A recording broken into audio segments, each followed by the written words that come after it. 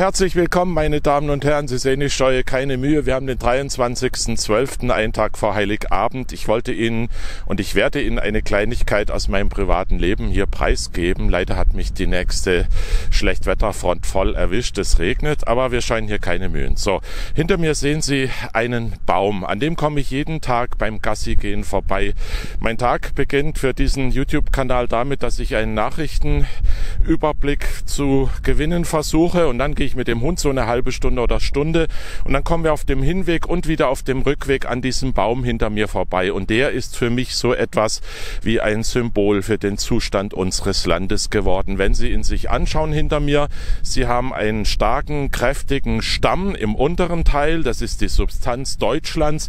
In der Mitte wird es relativ dünn, das sind Bild der Mittelschicht für mich und oben haben wir noch einen Ast, der noch einigermaßen gesund aussieht. Das ist die politische und mediale Elite, die Kaste, die das Land beherrscht, die es aussaugt, die auch die Mittelschicht ausplündert. Und wenn man den Baum genau anschaut, ich glaube, Sie können es von hier aus sogar sehen, da ist ein großes Loch auf der Rückseite. Sie können durch den Baum durchschauen. Und äh, das ist auch etwas ganz Symbolisches. Die Substanz ist schon weitgehend verloren gegangen. Sie war mal da, jetzt ist sie zu einem großen Teil nicht mehr da. Und die Wurzeln dieses einst kräftigen Baumes, die sind nur noch in der Lage, diesen letzten einen kleinen Ast an der Spitze zu versorgen. Und irgendwann in den nächsten Jahren ist das dann vorbei. Dann wird das nicht mehr möglich sein. Und ich glaube, wir haben in diesem Land im Unterschied zu diesem Baum, in dem einen Unterschied noch die Chance, Chance, das zu ändern, was sich da für den Baum abzeichnet, aber vielleicht und hoffentlich nicht für unsere Gesellschaft. Wir müssen jetzt endlich alle mehr unternehmen, als nur zu reden und zu schreiben.